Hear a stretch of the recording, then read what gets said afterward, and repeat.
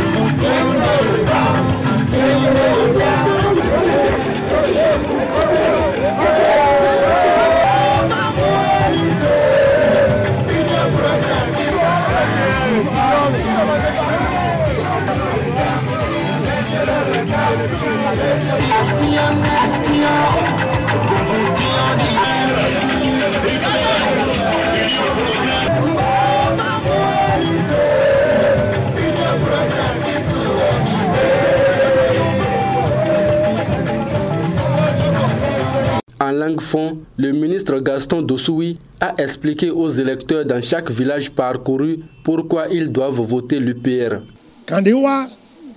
Todio eno kpɔn de mele wazɔ gbo ni do kɔ do kpɔdoko mɛ bɔn ne dze hame ɖe no ma nuhu do mi kpɔ do fi di eye mi ma ka dɔ do gbeɖokpɔ mɛa bɔn egbo kpɛ ɖe nu me le gbogbo kpɛ ɖe nu me le tɔn le dze wɛ o wenu edzro me ɖe do yina fli mi do wona fun fun fun do dandan. Bena ƒu dze me bɔn mina mla eye lɔ sɔ de dzi hwɛ do ndeburo pia ena sunu kumeni. Oni kule ọma sọ ayijẹ devoji o ako sunu kuntọmẹ lehun ekpoọ anamlagbọnde ọkùnrin náà dúró wọn náà ṣe ekpoọ demẹ àmọ́ eni sunu kumeni bonu kule demi zero fiọ ema jẹ devoji o kpọ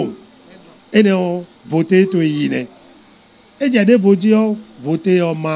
ẹ̀rọ e ene kó wa sọ o fie lọ. 100% Wembarmi. Demande